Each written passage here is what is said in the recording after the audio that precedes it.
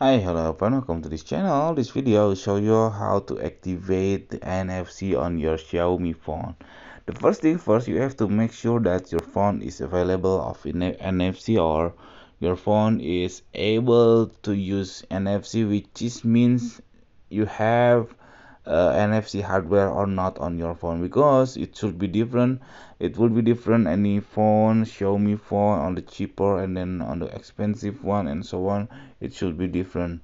So how to check? You just go to your settings and then you just search for NFC see here I can find my NFC so which means that I have my NFC uh, hardware on my phone.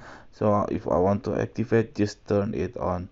And then also I can edit uh, I can add the NFC shortcut on my uh, toggle button on the upper. So I can edit this uh, this this section to rearrange the NFC. If you couldn't find the NFC, it should be around here. Just press and hold like this one and then put it on the top like this one. Here I deactivate the NFC from the toggle button and then I want to make it back. Just press and hold and for like that okay that's it. This tutorial i hope it's helpful for you. If it please subscribe our channel. And then if you have any question please put on the comment below. Thank you. Bye bye